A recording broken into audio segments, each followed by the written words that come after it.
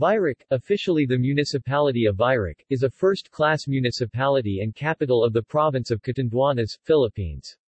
According to the 2015 census, it has a population of 73,650 people. It is most populous and fifth largest in land area in Catanduanes. Etymology It has been said that Virac is a derivation of the word vidac, while others claim it is a contraction of the Spanish version of the word burac, meaning flower. A priest is on a quest for more information about the natives. Pointing to a tree, he asked what it was called and the natives replied burac. Thereupon, the priest made his first notation on his book of information burac. History Pre-Spanish period Civilization first touched the island province of Catanduanes in the 13th century, with the arrival of the scions of ten Bornean Datus who were then traversing through the islets of the Philippine archipelago. By the middle of the 14th century, organized communities could be seen throughout Catanduanes, a consequence of the rapid development of southeastern Luzon initiated by the Malay settlers. Virac, the capital town of the island province of Catanduanes, started its primitive annals in pre-Spanish times when tribal chieftain Lumabao, scion of Datu Dumangsil who came to the Philippines with the ten Bornean Datus and his wife Milbigan settled near Vidac Spring and founded the first civilized settlement with a score of servant followers and their wives. Spanish period it was the Spanish conquistadores Juan de Salcedo who first brought Spanish galleons to the waters of Catanduanes in 1573. His purpose then was to capture and punish pirates who carried on their nefarious trade in Camarines Sur, Sorsogon and western Catanduanes. His galleon returned a few weeks later, this time, his mission was to spread the Catholic faith. While at bay, the port guard saw smoke rising from the mountain Eli.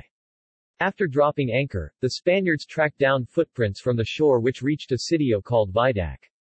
They eventually came upon a large kaingan in Timbin, situated between the barangays of Danicop and Calatagan.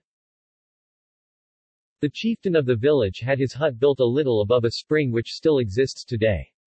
There was a reception hall conveniently shaded by a tree known as sambong. This tree eventually served as the guidon to the couple's place. It is said that the Spaniards could not approach the hut of the chieftain because of three huge fierce-looking dogs and several guards who had their spears drawn toward the foreigners. However, the Spaniards determined to succeed in their mission, returned the threatening acts of the natives with gesture of friendship. A piece of anchita was offered to the chieftain as a gift, but this was rejected by the chieftain when his wife said, We have many pieces of gold in our kingdom. A silver piece was next offered, but this was similarly rejected by the chieftain and his wife. Reaching for some refined sugar, the Spaniards let the natives taste the sweetness of the substance. The chieftain's wife liked the taste. Thus begun the sweet relation between the natives and the Spaniards. Soon after the first encounters, the Spaniards started giving the natives provisions not found in the chieftain's hut, such as more sugar and clothing. After the seed of friendship had taken roots, the Spaniards began spreading their message of Christianity. Lumabao was baptized as Jose and Milbigan as Maria. Their son who lived at the bank of Macacao was converted into Christianity with the name of Mariano. It is unfortunate that records regarding the Christianization of Virac were lost due to vandalism of Moros. The history of this capital town began to be accurately recorded only from the year 1755. Moro raids Catanduanes was not spared from the adventurous and plunderous raids of the Moros from Mindanao. But knowing the strength of the coastal batteries of the Virac harbor, the Vintas divided into groups and landed at various places or points farther from the range of the coastal batteries. Some landed at Kadakulan and others way out to points east and west of Virac. Don Matias Solomon, a famous Moro fighter, engaged in battle and killed a Moro Datu named Muhammad Abu after a bloody encounter in Sitio Hapag of Barrio Sto. Domingo, Virac. He was aided by the swift-handed and hoarse-voiced Don Alipia Alejandro alias PAAs. The non-Christian invaders were superior in arms and number until Don Alipia, with an exotic force, turned the tide. The Moros could not move further, hence, they retreated in defeat. On the eastern end of Virac, the Moros succeeded in gaining a beachhead in Catanduanes and from there, attacked the town from the east. The Cabeza de Barangay of Francia, Don Pedro Tolentino alias Pantino, lost no time in giving their all against the enemy. This was the first time the people of Virac totally and successfully resisted an organized invasion. American occupation a few months after Emilio Aguinaldo, the first president of the First Philippine Republic took his oath of allegiance to America after losing in the Philippine-American War, a battleship dropped anchor in Virac. The American soldiers were on a mission to expedite the surrender of the local revolutionists or Katipuneros.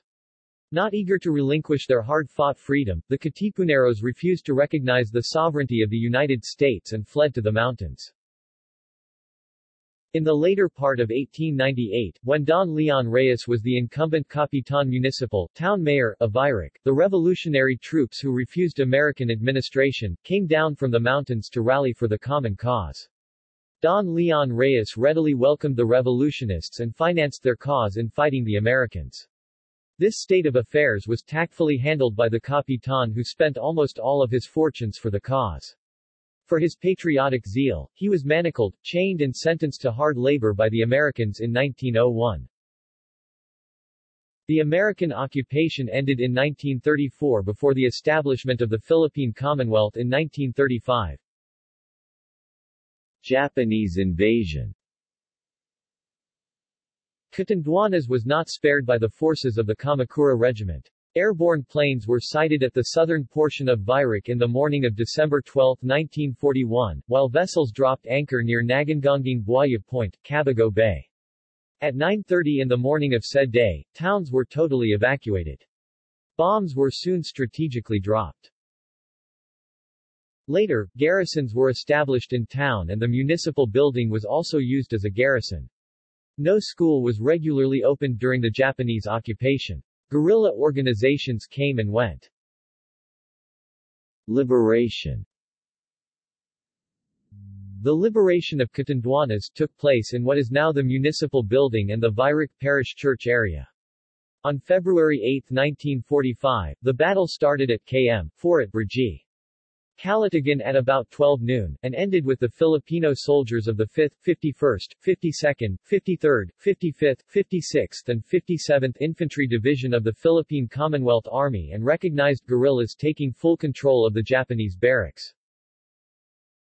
On April 20, 1945, Florencio Tacorda, the only three-term municipal president, some two and a half decades before the war, was designated mayor of Virac. He served for six months and 25 days during the Philippine Civil Affairs Unit regime. Pre- and martial law era from 1958 to 1970, Salvador Certida took over followed by Jorge Arcia from 1970 to 1986, two of the longest reigning local executives in the history of Virac. This period witnessed the ascendancy to national prominence of the Alberto brothers, Juan, Jose and Vicente, who doubtlessly brought progress and influenced the massive physical transformation of the municipality when Salvador Certida and Jorge Arcia were mayors. Foremost among the many infrastructure projects were the Catanduanes State Colleges and the Eastern Bicol Medical Center which placed Virac in the map as a major educational and health center in the Bicol region. The growth of Virac in terms of governance peaked in 1972. From the original 34 barangays in 1960, Virac was able to establish 29 new communities to upgrade to the present composition of 63 barangays. The declaration of martial law on September 21, 1972, despite the alleged rampant atrocities, had, by and large, no ill effects on the lives of the constituency, who by nature are peace-loving and law-abiding citizens. EDSA Revolution and beyond The EDSA revolution in 1986 which toppled down the more than two decades of Marcos regime had a domino effect on the political structure of Virac. The replacement of the elected officials by appointed officials was in accordance with the Freedom Constitution which predominated during the revolutionary government from 1986 to 1992. Rodolfo Sarmiento, a doctor by profession held the reins of the municipal government. The early 90s saw the alternate changing of local governance between Rodolfo Sarmiento and José Cito Alberto II, the son of Congressman José Alberto. Geography The municipality of Virac occupies the southern tip of the island province. It has a total land area of 18,778.4 hectares. Of its total, 9,359.15 hectares or 49.84% is forest land while 9,419.25 hectares are classified as alienable and disposable. Almost half of the area is rugged and mountainous, with hills and plains dotted with marshy land, rocky jutting cliffs and crags.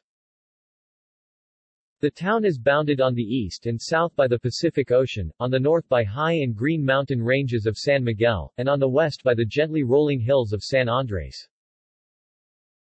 Climate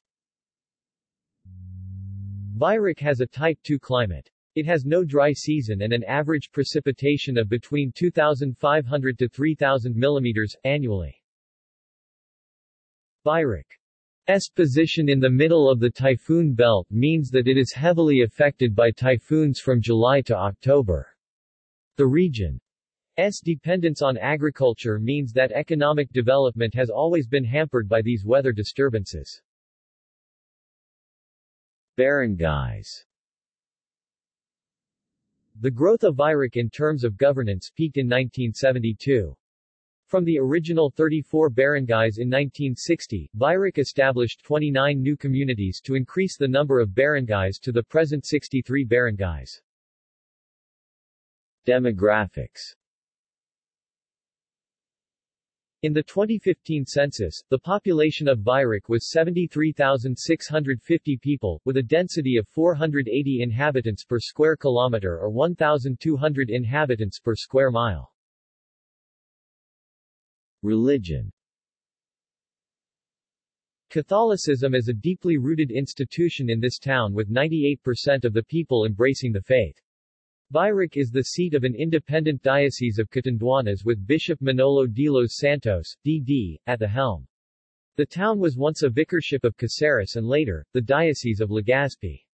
The patron of the town is the Immaculate Concepcion with the feast day celebrated on December 8. Economy The economy of Virac is sustained primarily by agriculture, the farming of rice, corn, bananas and root crops. The production of copra and abaca also provide additional income for the people.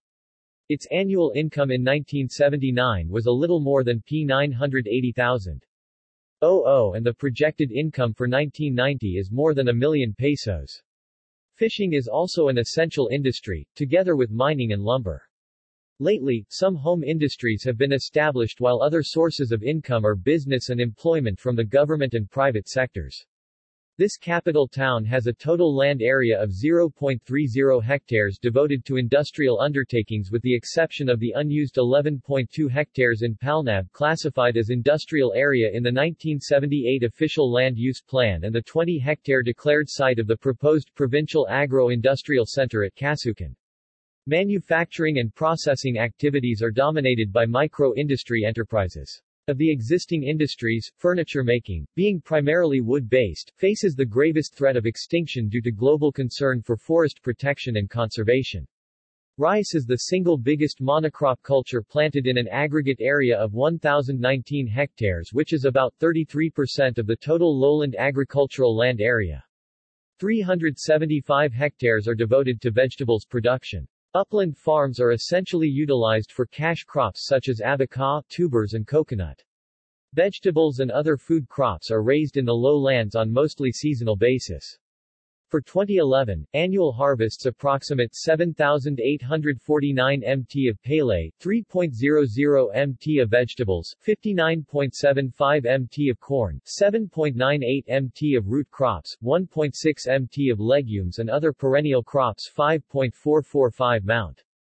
Unprocessed abaca fiber and copra represent the major export products. In 2012, Virac's locally generated income reached PHP 32.6 million, with total income including IRA at PHP 117.9 million. The five major income sources services agriculture tourism cottage industry manufacturing transport airport Virac Airport. Cebu Pacific flies between Manila and Virac four times a week. There are no direct flights to or from Cebu even though it is serviced by Cebu Pacific.